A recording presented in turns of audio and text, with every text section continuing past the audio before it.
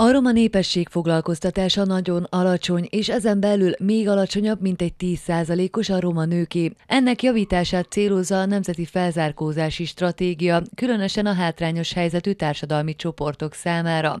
Az Emberi Erőforrások Minisztériuma által meghirdetett program keretében ezer roma ember főként nő állhat munkába novembertől különböző szociális intézményekben. Ezáltal nem csak ők maguk kerülnek munkahelyre, nem csak ők maguk gondoznak másokat, hanem a saját környezetükön belül is meg lesz az a plusz és fontos döntés, miszerint érdemes olyan munkát, olyan szakmát, olyan területet választani, ami egyébként sokszor az ő társadalmi közegükben benne van, a család szeretet, a gyermeknevelése, az időseknek az együttgondozása egész családon belül.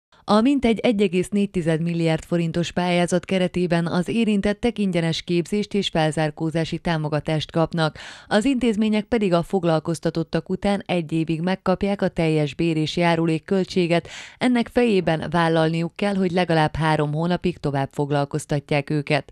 Az Országos Roma Önkormányzat és a kormány még 2011 májusában egy keret megállapodást kötött, és ebben tűzték ki célul 2000 roma nő bevonását a szociális szociális ellátórendszerbe. A mostani program az első lépcsője ennek a célkitűzésnek, az előzetes felmérések szerint pedig igen nagy az érdeklődés a program iránt. 19 megyében és Budapesten több mint 3500 asszony jelezte azt, hogy szeretne részt venni ebben a programban.